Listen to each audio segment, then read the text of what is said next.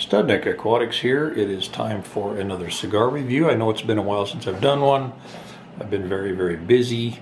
But anyway, it's kind of a nice day. We are right below before the 4th of July holiday weekend. And it just got done raining, really nice day out. It's kind of a quick look of my cigar lounge. And this is my walk-in humidor that I built. If you haven't seen the video, I did a build series on it. Now it's pretty loud in there, so I'll probably grab the cigar and then step out in order to talk about it because it is pretty loud. The humidification system is running right now.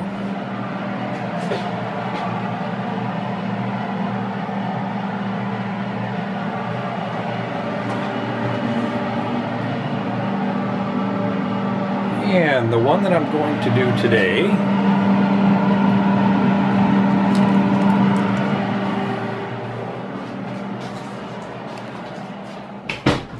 is this one right here. This has been in there for, for quite a while. It has been aging, which I like to do with cigars.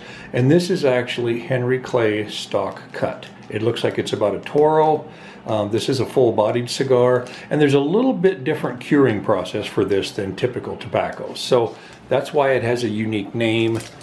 I'm going to get it set down here. I will get this thing fired up and we're going to review this cigar. Okay, I thought before I lit it we'd take a look at this thing. And this is by Henry Clay and this is called Stalk Cut. It is a Toro, it's 6 by 54 This is a full-bodied cigar and it's, it's a very nice looking cigar. It does not have a cut foot. So you can see the tobacco is wrapped around the end of that and it's it's a really nice looking kind of a medium brown wrap or something like that. There's a little bit of veining in it, but not very much. It's not cracked. There's no peeling. And like I said, it's been in there for, for probably a couple of years, and it's it's fairly firm on the foot, and it's fairly firm all the way through. So I'm going to go ahead and get this thing fired up. I'll look up a little more about this cigar, and we're going to see how this is. Okay, I do have it lit now. And this cigar is a full-bodied cigar. Like I said, it is a Toro, and it's made in the Dominican Republic. Um, the wrapper is, I believe, a Connecticut broadleaf wrapper, if I remember right. The binders from the Dominican Republic, and then the fillers are from the Dominican Republic and Nicaragua. And the reason they call it Stalk Cut is that rather than just cut the leaves off the tobacco plant and take them in and hang them to cure them, they actually cut the stalk and they hang the entire plant on there. And they claim that that allows the leaves to pull more nutrients from that stalk and makes it more of a deeper and an earthier cigar smoking experience. So that's what I read about it. It's burning fairly even as a really nice light gray ash. Um, there's a little bit of a glitch on the burn there, but I'm going to go ahead and smoke this thing down a little bit. And so far, uh, before I lit it, I kind of smelled it. It kind of has the, the feel of kind of kind of like a like a hay or something like that.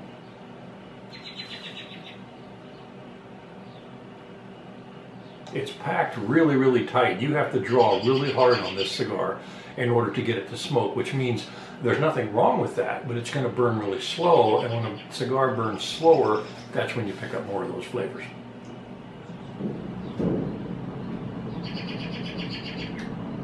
It's definitely earthy, no doubt about that. And it's almost like it has a little bit of like a cocoa or something like that note going on.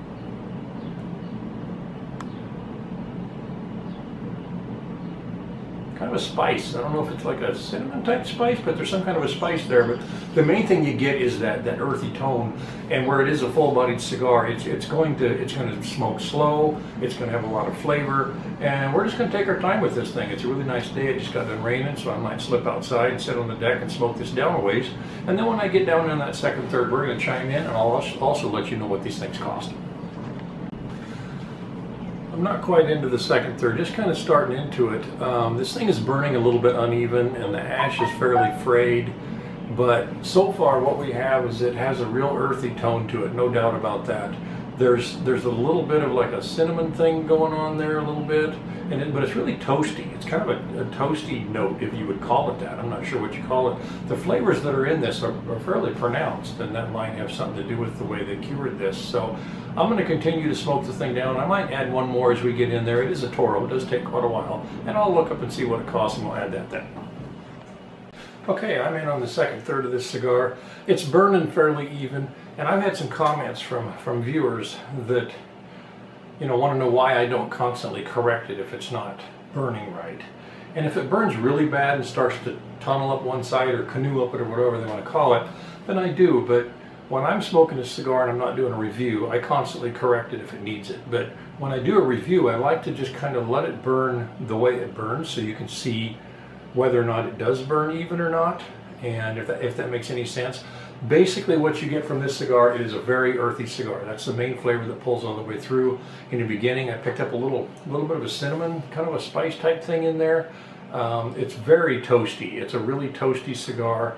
Uh, it does have some, a little bit of cedar in there too. So there's quite a bit going on with this thing. I did look it up. And a box of 20 is $174. That's $8.70. You can get a pack of five for $46, which is $9.20. So it's basically a 9 to $10 cigar is what it is. So you have to put out a little bit of money to get your hands on one. I think it's worth trying because of the curing process is a little different than other cigars and it's interesting to me when you run into something like that. It does have a 92 rating from Cigar Aficionado, and it also hit the top 25 of 2016. So it's made its mark in the cigar world. It's worth trying if you have a cigar lounge near you. And that is my review of the Henry Clay Stalk Cut. And as always, keep smoking cigars.